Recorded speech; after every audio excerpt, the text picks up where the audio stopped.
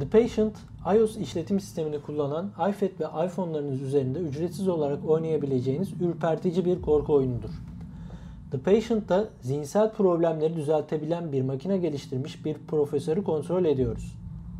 Makine bazı hastalarda mucizeler yaratmıştır fakat sonuç bazıları için aynı olmamıştır.